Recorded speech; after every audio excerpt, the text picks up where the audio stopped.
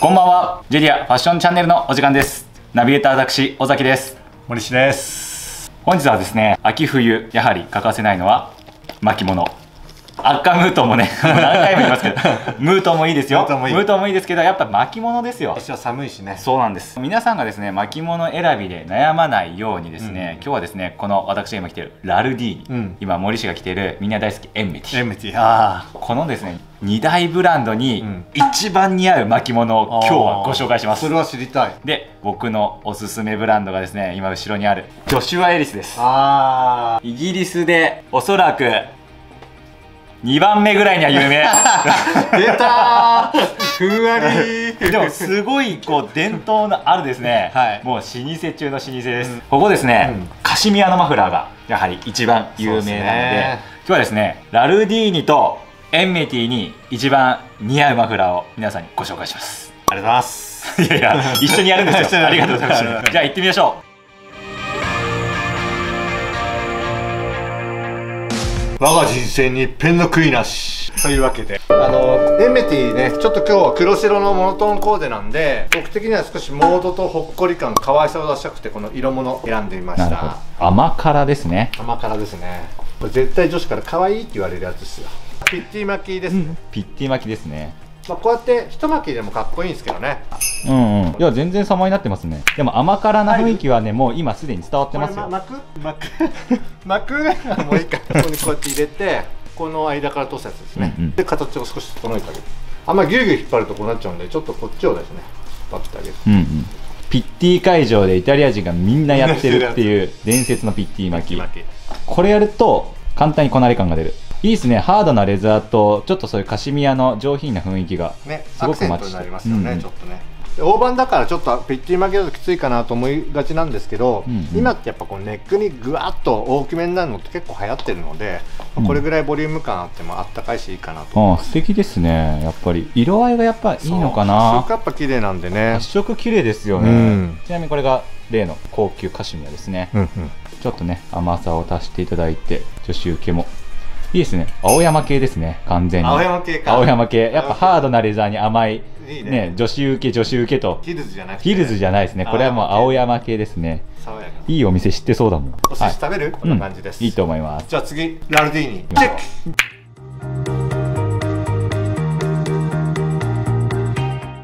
我が人生に一片の悔いなし。いやいやいやパクんなよ。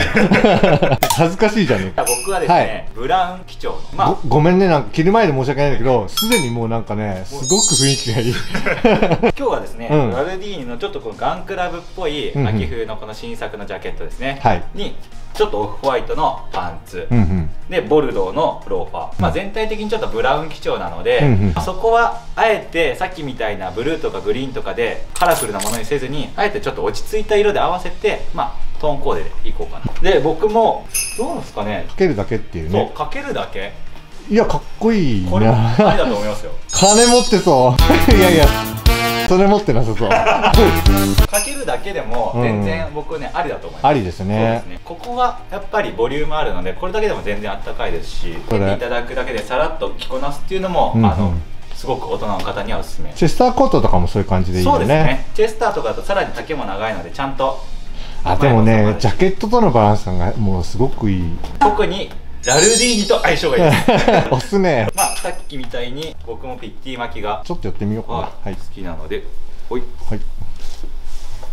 はいこういう感じですね、はあ。ちょっとボリュームがあってはいはいはい。そうですね。左右の長さをちょっとこうやってはあはあはあ。僕の場合はこうどっちかを長くしてちょっとどっちかを短くするみたいな感じにすると個人的には好きですねこれこなれ感が出ますね。両方一緒っていうよりかはちょっとこうずらすっていう。なるほど後ろからもすごくかっこいいんですよねこれ。う後ろねんあんま見えないからわかんない。ちょっとこうボリューム感があるネックとねジャケットの感じが。ちょっと寄りで見てみましょうか、このブートニエールとこのガンクラブチェック。ぴったりね。この女子アイです。これここのところはちょっとうんうん青も入ってるな、あそうなんですか？パープルっぽい感じと黒すごといな。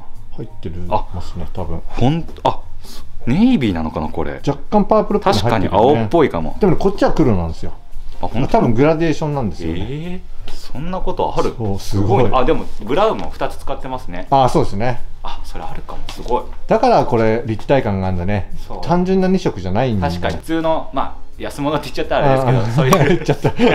単純なパターンではないよと、うんオリジナルのね。ね確かに。で特に大判がおすすめですね。ですね。俺もそう思う、はい、ちょっとですねお値段が張るんですよ、うん。これに関してはえっ、と5万7000円プラス税と。こちら6万円ねいっちゃうんですけども、うんぜひ1枚でいいので大判を巻いていただきたい、でも寒いからどうしようかなって迷う時にこれ1枚持ってくとフォローが効くんで。これいいかもな。ちょっと。お？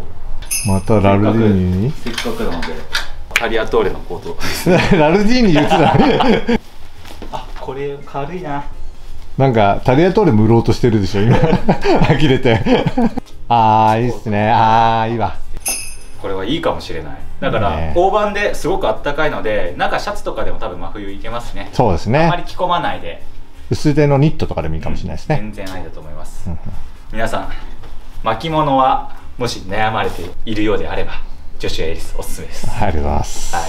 はい、はい。はい、ということでジョシュア・エリスのマフラーですね。ラルディーニにも合うしエンミティにも合いますということで迷われてる方はですねぜひこの大判のカシミヤマフラーをまず第一候補にしていただいてはいちょっと予算内容という方は小判マフラーでももちろん構いませんはい、ということでジュリアファッションチャンネルでしたバイバイ